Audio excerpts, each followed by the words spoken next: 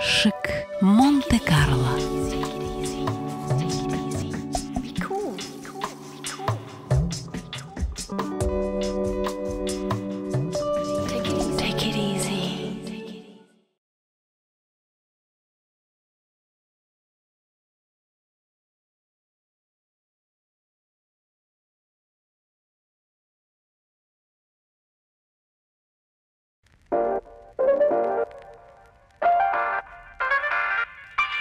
Bye.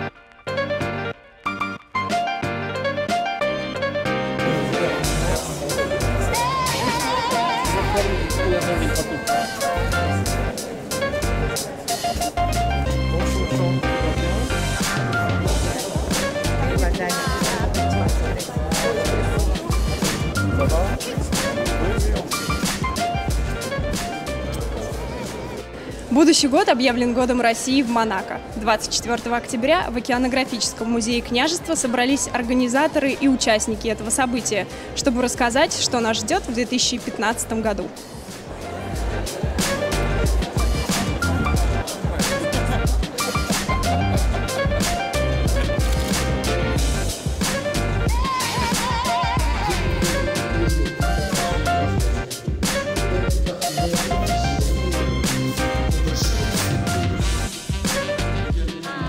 России с Монако есть целый ряд э, э, сегментов во взаимоотношениях, которых нет у нас, скажем, с Германией или с Польшей или с Францией. Помимо культурных связей, которые глубокие насчитывают не одно десятилетие, а даже не одно столетие, э, у нас есть очень серьезные научные взаимоотношения, связанные прежде всего с изучением Мирового океана и Арктики.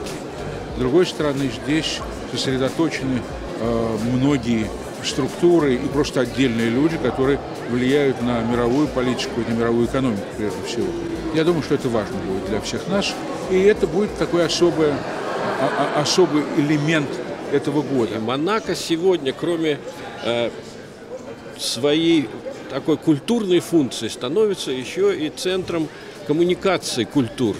Вот это соединение в пространстве, казалось бы, глобального э, расслоения цивилизационного, Монако становится центром соединения, соединения культурных пространств.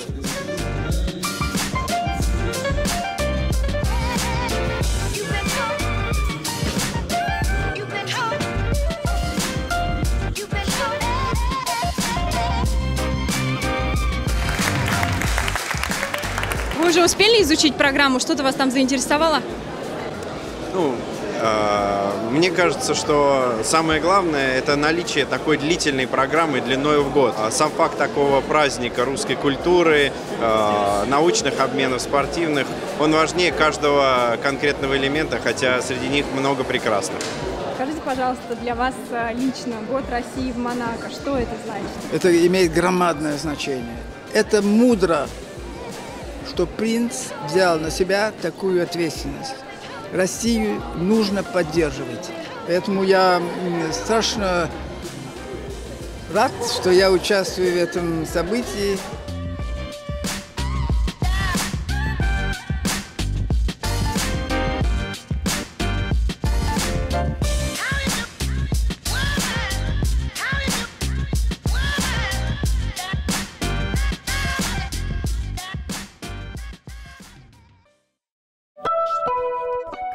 Шик Монте-Карло.